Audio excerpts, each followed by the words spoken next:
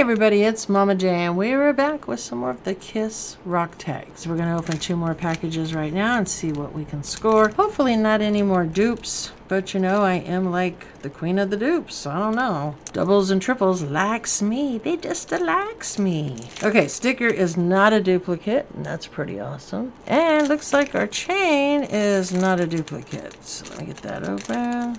It's the full band. That's pretty awesome. This is number 19 of 24. That's pretty cool. All right, we got one more to open on this video. Let's go ahead and bust that one open. Oh, we pulled an exact duplicate. Same sticker and same keychain. Patreons and giveaways. Patreons and giveaways. All right.